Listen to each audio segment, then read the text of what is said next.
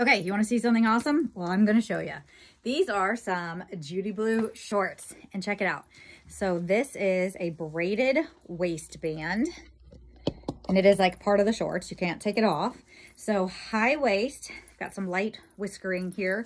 They are cutoffs. They have a little slit here, so they go nicely over your leg. Your leg is not like strangling or anything like that. Normal Judy Blue um, amazing stretch, like super, super crazy, like we always love. Normal Judy Blue sizing, I'm wearing a large. This, the jeans are like the number sizes. Um, shorts are small, medium, large, and I will write out the sizing conversions for if your normal pant size and your Judy Blue jean conversion over to shorts. Um, I always do a large. I'm wearing a large. They're perfect. A large is going to be a 10, 12 if you know your Judy Blue jean size. I'm a 10. This is large. They're fantastic. They are so, so soft and so stretchy.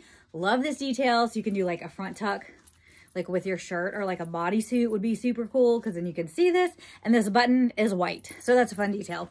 Um, so these are really awesome. They hit me, I'll have the inseam written in the description, but they are a little bit higher than mid than mid thigh, I would say. So they're definitely not the shortest Judy Blues, but they're not the longest either. So good mid range. These are fantastic. Got add them to your collection because hello. And the light wash. Love to have a good light wash because everything is always like medium or kind of darkish wash. So love to have this. Love the braided belt look. So cool.